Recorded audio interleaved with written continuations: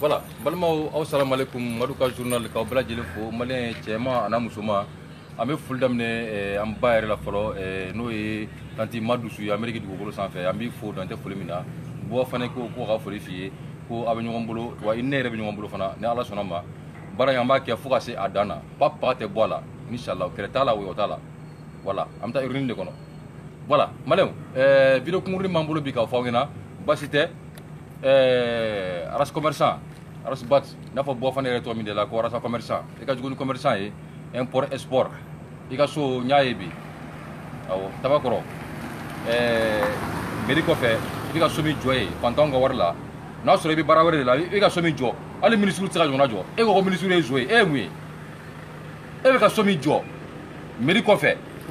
hali minisiri tɛ se ka ɲɔgɔnna jɔ donc arasa an tɛna da don kuma la fɔlɔ o ye kuma fitini dɔrɔn de dɔrɔn k'a fɔ maliyɛnw ɲɛna i bɛ ka mɔgɔ minnu nɛgɛ hali bi ko e tɔgɔ ko arasaba ti dɛ ko fantan ko a kɛ dɛ k'a fin ta jɛ ta maliyɛnw arasaba ti bɛ ka sɔrɔ jɔ bamakɔ kɔnɔ yan n'a y'a ye aw ɲɛ la walayi bilayi a ka bon n'i bɛ ka so ye arasa a bɛ ka so min jɔ a ka bon ni i bɛ ka so ye ni ne y'a kuma fɔ a bɛ kɛ mɔgɔw kɔnɔ ko ɲɛngoya don alhamdulilayi ne yɛrɛ bɛ n ka so ni kulukuruni kɔnɔ ni muso ni den bɛ yen an bɛ ka viya viya kɔnɔ très bien bɔ fana yɛrɛ b'a ka so très bien mais ɛɛ maliyɛnw n bɛna min fɔ aw ɲɛna a ko ko an ka taa deuxième tour la e bɛ ka ko k'a sɔnna ko kɛlɛ t'a la ko wɔyɔ t'a la ok an ka taa deuxième tour la an bɛ taa deuxième tour la ɛɛ arasibat ne y'o de f'i ɲɛna ko e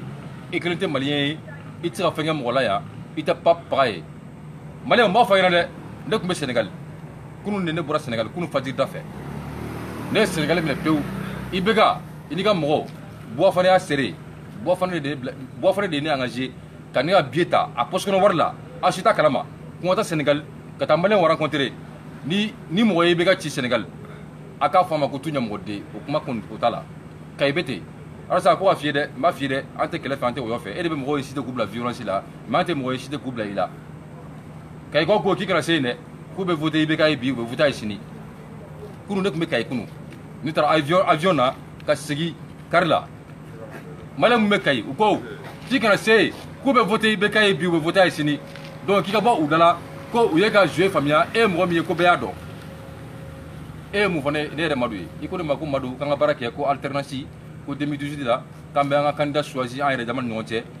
k'an kana mɔgɔ si jira ni parti politique mɔgɔ ninnu na k'a bɛɛ mɔgɔlankolo ko sumana sise ye zo ye cɛbiri dara bɛ ɲɔgɔnna mɔgɔlankolo tɛ dugukolo sanfɛ ko i bɛ ka tɛ mɔgɔ ɲɛnama ye ko bɔ a k'a bila an bɛn'o de kan dere miniti la e ye sira change ko sumana sise n'o ne fana sira change ka taa i bɛ ka fɛ yen donc bɔ an bɛ ɲɔgɔn bolo ba paga t'i la i bɛ ka bɛ passe bi a bɛ passe sini et puis hali n'i bɛ ka san duuru laban in n'a y'a daminɛ an bɛ révision constitutionnelle kɛ referendum an b'a kɛ ka dɔ fara kan i bɛ ka b'a si bɛ kɛ fanga in na parce que i bɛ ka wasara aw i bɛ ka su ka fisa ni sumala siri ɲɛnama ye mali o b'a fɔ ɲɛnɛ mali kɔnɔ ani mali kɔ kan alisa a ɲɔgɔnna mɔla a ɲɔgɔnna mɔlankolon tɛ dugukolo sanfɛ ɛɛ mali o ne ta kalama n b'a fɔ ɲɛna dɔ ye ne agrese kunu ka ne ka mobili fitiri ci cɛ tɛ muso tɛ alisa ka mɔgɔ de don sedɛri mɔgɔ de don cɛ tɛ muso tɛ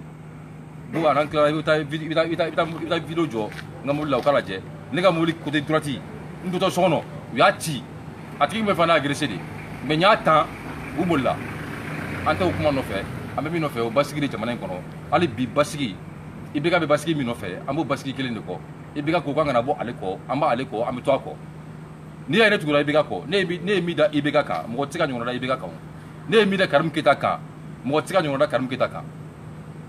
arasa bɛ ka bɔ ni manamanakanw ye bi ko karimu keyita ye journaliste dɔ faga o ma juge tɛ mali la kiritigɛlaw tɛ yan avocat tɛ yan ibrahim ture somɔgɔw tɛ yan ne ye kɛlɛ min kɛ ibrahim ture ko la arasa yɛrɛ bɛ k'i pan k'i fili kow de la donc maliyɛnw n'aw b'a ka hakɛ ɲini ko ka mɔgɔ ka hakɛ fɔ fantanw ka hakɛ ɲini a bɛ arasa bolo a bɛ ka so jɔ n'a ye awɔ tabakɔrɔ meri kɔfɛ arasa ka so ka ɲi ni perezan ka so ye ne de y'a fɔ aw ɲɛna a b'o wari bɔ min arasa bɛ ka bɔ sunɔgɔ la sɛnsɛri de i b'o disɛtɛri bref an k'o kuma to yen o y'i ka vie privée ye ne ka foyi t'o la ɛɛ eh, maliyɛnw n bɛ ka min fɔ aw ɲɛna bi nin video in tɛ dɔ wɛrɛ kan deuxième tour ye dimanche ye ni ala sɔnna ma maliyɛn bɛɛ bɛ taa voter n'a ye mɔgɔ min diya taa voter n'a y'i diya a to yen ka taa voter kɔni fasolo ɲumanya baara wa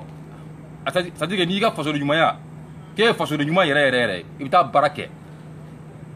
mɔgɔ min bɛ video lajɛ n'i bɛ neni kɛ neni kɛ n'a ka di ye fana a lamɛn i ka conviction ye min ye i k'o fɔ a banna mais arasa kɔni ɲɔgɔnna commerçant tɛ mali kɔnɔ bɔ fɔ ne tɔgɔ min na arasa ba tila a ɲɔgɔn tɔgɔ tɛ dugukolo sanfɛ ne ma ne yɔrɔ ne bɛ tɔgɔ la ne tɔgɔ la diɲɛ malin malin bɛɛ la mais bɔ fɔ ne tɔgɔ min na arasa la tɔgɔ wɛrɛ tɛ ne kɔfɛ tɔgɔ wɛrɛ foyi tɛ ne bolo tuguni commerçant import sport fantanw ka problème na donc malen k'o fɔ ɲɛna santima dusu ameriki dugukolo sanfɛ faransi diɲɛ mɔgɔ mɔgɔ n'a bɛ ka video lajɛ a partage bɛɛ tulo ka don a la arasa ye commerçant de ye a bɛ ka problème de exploiter ale de ko a ma ko alternance a ye ne wele fo a ka biro kɔnɔ carrefourison na ko madu i kana kanda yira mɔgɔ si la ni élection sera an bɛ to an ka position na an tɛ mɔgɔ si yira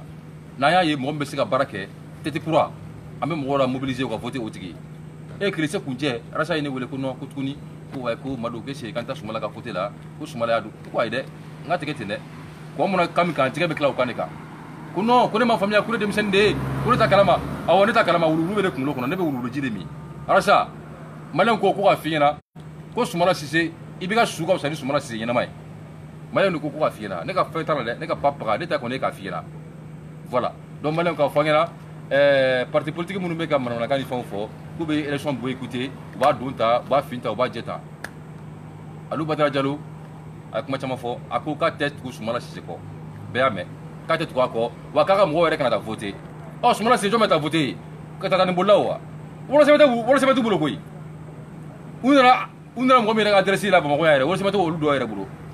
olu bɛ se ka kɛ perezida ye wa maliyɛnw de ko k'e joli yɛrɛ de man di olu ye ne taara diɲɛ jamana bɛɛ la sumana sere taara sɛnɛgali kɔsa in na ne ye sɛnɛgali minɛ k'a di ibk ma ka kayi minɛ ka d'a ma kɔri fɔri minɛ k'o minɛ k'o d'a ma bamakɔ b'a bolo e bɛ mun yɛrɛ kɔ i bɛ ka ye ci ɲɛfunke i yɛrɛ faso kɔnɔ i ka biro de vɔti kɔnɔ i bɛ ka ye ci ye e bɛ mun yɛrɛ kɔ